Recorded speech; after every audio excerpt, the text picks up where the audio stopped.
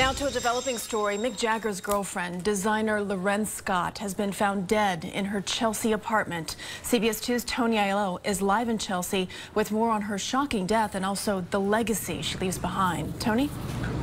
Police say L'Wren Scott's body was found in the living room of her apartment on the ninth floor of this building here on 11th Avenue. She had been dating the rock star Mick Jagger for more than a decade. He is on tour in Australia. His spokesman says Jagger is shocked and devastated at his girlfriend's apparent suicide.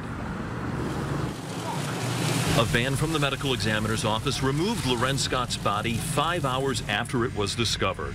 Police say the fashion designer's assistant found Scott in her $7 million apartment on the ninth floor of 211th Avenue. A scarf tied around her neck. She was hanging from a doorknob.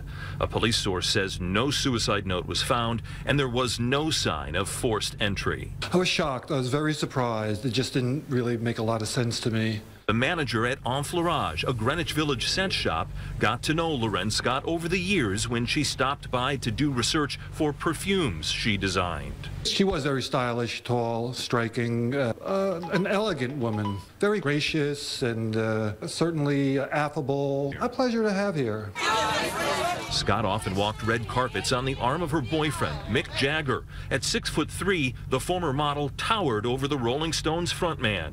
She was something of a rock star in the fashion world. Her designs worn by Penelope Cruz, Amy Adams, and Nicole Kidman.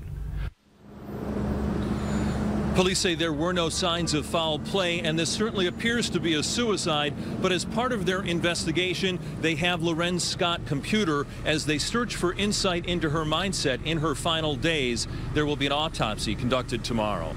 Live in Chelsea, Tony Aiello, CBS 2 News.